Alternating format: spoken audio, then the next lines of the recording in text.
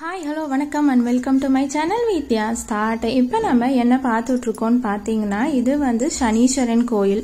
சனீஸ்வரன் அப்படின்னாலே நம்மளுக்கு கொஞ்சம் பயம்தான் வரும்.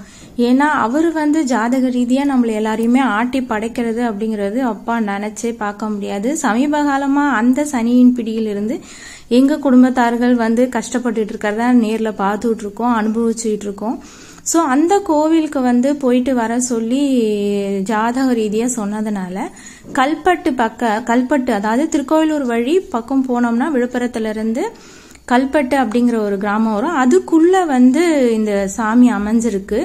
இது வந்து சுமார் ஒரு இருபது இருபத்தஞ்சு வருஷமா இருக்கு அப்படின்னு சொல்றாங்க. அங்க பாத்தீங்கன்னா பல முனிவர்கள் சித்தர்கள் அப்படிங்கிற மாதிரி சிலையெல்லாம் இருக்கு. நம்ம பிளே நேம்லாம் இருக்கு. பட் அது யார் யார் அப்படிங்கிறது எனக்கு சரியா தெரியல. அன்னைக்கு நாங்க போயிருந்தப்போ கூட்டம் அந்த அளவுக்கு இல்லை. இருந்தாலும் சனிக்கிழமையில நம்ம போனோம்னா நல்ல கூட்டம் இருக்கு. இந்த கோவிலுக்கு போயிட்டு அதாவது பாத சனி கண்ட சனி அந்த சனி இந்த சனி எந்த சனி பிடிச்சிருந்தாலும் சரிங்க. சனீஸ்வரனுக்கு போயிட்டு எல் தீபம் ஏத்தி சனீஸ்வரனை வழிபட்டா சனி வந்து வக்ரம் அதாவது நம்மளுக்கு ஜாதக ரீதியா ஏற்படுற ரொம்ப கொடுமையான தாக்குதல்ல இருந்து கொஞ்சம் இறக்கம் காட்டுவார். இதுவர் தான் பாத்தீங்கன்னா மூலவர்.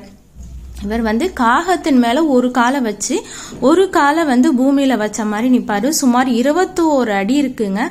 பார்க்கவே அப்படியே பயமா இருக்கு. நிஜமாமே தனியா போனோம்னா நல்லா பயமா இருக்கும். அந்த அளவுக்கு இருக்கு. அங்க வந்து காலையிலேயே நட்சத்திர பூஜைன்னு சொல்லிட்டு இருக்கிற எல்லா நட்சத்திரங்கள் அதாவது நம்ம ராசிக்கான நட்சத்திரம் இருக்கு இல்லைங்களா அத்தனை நட்சத்திரத்துக்குமே காலையிலேயே ஒரே பூஜையா பண்ணிடுறாங்க. நாம தேங்காய் பழம் பூ அந்த மாதிரி ஈவினிங்ல எல்லாம் வாங்கிட்டு போனா சாமி கிட்ட வச்சு உடச்சி தான் தராங்க. ஸோ பூஜை பண்றது கிடையாது. இது வந்து நான் உங்களுக்கு ஒரு இன்ஃபர்மேஷனா சொல்றேன். நீங்க நாளைக்கு ஏதாவது போற மாதிரி இருந்தீங்கன்னா இதை பார்த்துட்டு நீங்க வந்து மார்னிங்கே போறது ரொம்ப பெஸ்ட் உங்க ராசி நட்சத்திரத்துக்கு நீங்க மார்னிங்ல தான் பூஜை பண்றாங்க. சோ ராகு காலத்துல சனீஸ்வரனுக்கு விளக்கு ஏத்தக்கூடாதுங்களாம் ராகு காலத்துல ஏத்தனா அது ராகு கேதுக்கு தான் போய் சேரும். சனீஸ்வரனுக்கு தனியா ராகு கேது அந்த ராகு காலம் யமகண்டம் எதுவுமே இல்லாதப்ப ஒன்னு காலையிலே ஏத்திருங்க. இல்ல சாயங்காலம் அந்த ராகு கேது இல்லாதப்ப ராகு காலம் இல்லாதப்ப ஏத்திருங்க. எல் தீபம் அப்படிங்கிறது கருப்பு துணியாலான எல் தீபம் ஏத்துறது காக்காய்க்கு எல் சாதம் வைக்கிறது இந்த மாதிரி ரொம்ப சிறப்பு இங்கே. இந்த மாதிரி நீங்க யாராவது போய் பார்க்கணும். சரீஸ்வரனை தனியா ஒரு கோவிலா அப்படின்னு பார்த்தீங்கன்னா இங்க கல்பட்டுல அமைஞ்சிருக்கு. பார்க்கறதுக்குமே ரொம்ப அமைதியா நிசப்தமா இருக்கு. என்னதான் சனி பகவான் நம்மளை மாட்டி படைச்சாலும் போறப்ப நம்மளுக்கு நல்லதை தான் செஞ்சுட்டு போவாரு. ஸோ சனீஸ்வரன் கிட்ட போயிட்டு உங்களால என்ன முறையிட முடியுமோ அதை முறையிட்டு வேண்டி வணங்கி எல் ஏற்றிட்டு வாங்க. அதுக்கப்புறம் அதை சுத்திட்டு வெளியில வர்றப்ப பாத்தீங்கன்னா இங்கே எல்லா விதமான சாமிகளும் இருக்காங்கங்க. சிவன்ல இருந்து தனியா அதாவது பஞ்சமுக சிவன் அப்படின்னு சொல்லி இருக்காரு அவருமே பார்க்கறதுக்கு வந்து நல்ல அழகா இருந்தாரு. இவர் வந்து முன்ன முகப்பிலே இருக்கிற கிருஷ்ணனு. இப்ப நம்ம பார்க்க போறதுதான் பஞ்சமுக லிங்கம் அப்படின்ட்டு உள் பின்பக்கம் எல்லாமே வந்து ரொம்ப அழகா அஞ்சு முகம் பதிச்ச மாதிரி அந்த ஈசனை வந்து வடிவமைச்சிருக்காங்க. அதுக்கப்புறம் உள்ளார போயிட்டு பார்த்தோம்னா அங்கேயும் நவ கிரகங்கள் அத்தனையுமே இருக்கு. சனி பகவான் ராகு கேது என்னென்ன இருக்குமோ அது அத்தனையுமே இருக்கு. எல்லா சாமிகளும் இருக்காங்க. பஞ்சமுக ஆஞ்சநேயர்லேருந்து தட்சிணாமூர்த்தி துர்கை அம்மன் எல்லாமே வந்து இந்த கோவிலில் இருக்குங்க. சனீஸ்வரனுக்கு மட்டுமே தனியாக ஒரு கோவில். அதுக்கு பக்கத்துலேயே ஒரு பிரகாரம் அதில் வந்து எல்லா சாமிகளுமே இருக்குது நம்ம பொறுமையாக நின்று நிதானமாக வழிபட்டுட்டு வர்றதுக்கு இதுவே ரொம்ப சிறப்பான இடம்னே சொல்லலாம்.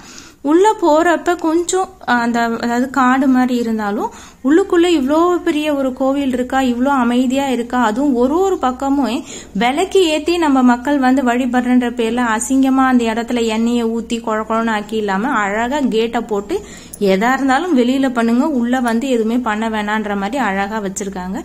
பார்க்கவுமே எவ்வளோ அழகா இருக்கு பாருங்க துளசி மாடம்.